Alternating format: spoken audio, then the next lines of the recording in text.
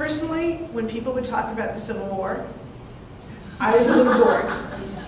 It seemed to me like there were many battles that you had to memorize, many generals that you had to memorize, many dates that you had to memorize, many numbers of people killed and wounded and different that you had to memorize, and it all seemed incredibly boring to me because it was facts without a story or a human component that really grabbed me. Bowser um, was born a slave in Virginia.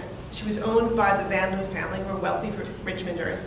They had a daughter, Bet, short for Elizabeth, who was outspoken. We know what that is code word in a young Southern belle, you can imagine. So she gets crazy notions into her head and she frees Mary and sends her north to be educated. Mary comes back to the South and during the Civil War pretends to be a slave in the Confederate White House so that she can spy on the President of the Confederacy on behalf of the Union. Right, like, whoa, who doesn't want to know more about that story? And I loved the idea that she was taking the stereotype that black people were incapable of intelligence and she was playing on that stereotype to become an intelligence agent. Like it was um, thrilling and brilliant and kind of gives me shivers just to think about it.